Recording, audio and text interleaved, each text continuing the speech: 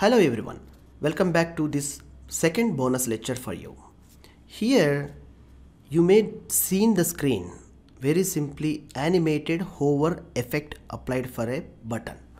So let's see when my mouse is placing to the button, wow, how the like animation is happening. Click is moving to back and some arrows are displaying means it's going to the forward. This hover effect is applied for a button so when I when I can like if I want to click this button I can apply this hover effect to the buttons. So how beauty it is. This is a purely beauty of uh, by applying CSS how simple it is and what are the parameters we have considered to written to prepare this effect we'll see here.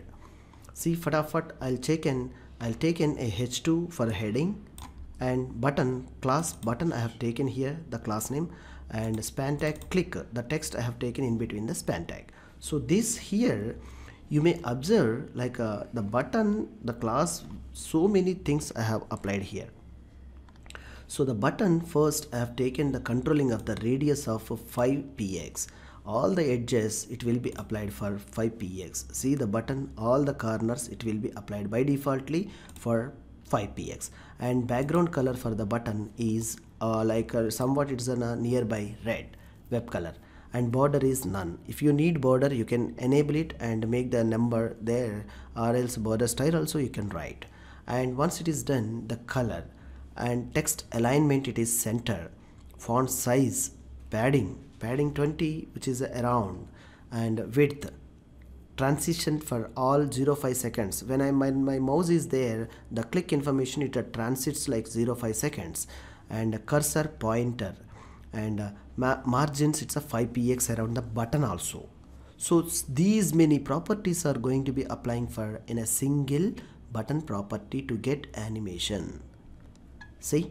And and the button span tag. We have added the button span and button after the span it should be like a content should be like some arrows. At the positions are absolute opacity 0 top and the right position minus 20 means it's moving around to the negative value of the right. And transition again it's a like a moving back front it's in a 0.5 seconds. Instead of transition 5 seconds you can add more time. It will be okay? And hover effect padding right to 25 px and hover after like uh, when I when I am removing my mouse after again it's a position of opacity 1 and right corner it should be 0 this much of uh, properties we need to add to get for animation. So see when you save this and run refresh see when my when I place this mouse see how it is getting?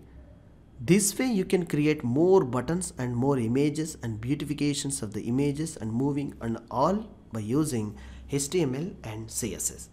Hopefully you'll enjoy more and more with this course in the next lectures we'll give you like a more like a php with the dynamic pages we are going to be preparing. That will be very very soon we are going to be publishing here. Thank you. Thank you very much for your uh, subscription and uh, following our courses. Thank you